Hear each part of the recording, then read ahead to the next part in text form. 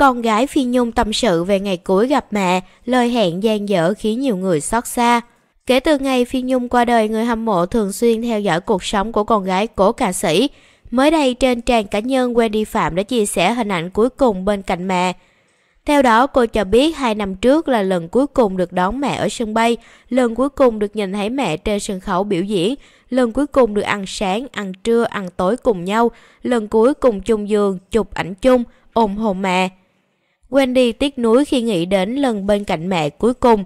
Cô viết, con ước con có thể biết trước rằng chuyến đi này là lần cuối cùng ở bên cạnh mẹ. Con ước mình có thể nhận ra sớm hơn rằng con có thể mất mẹ mãi mãi.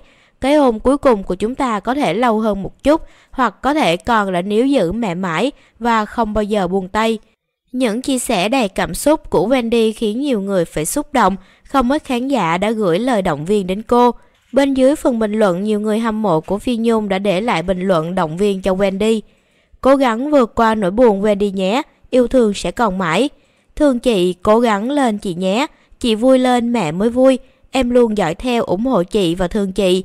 Hãy cố gắng vượt qua con nhé, chúc con luôn bình an và may mắn. Ở thế giới bên kia mẹ luôn theo dõi gia đình con.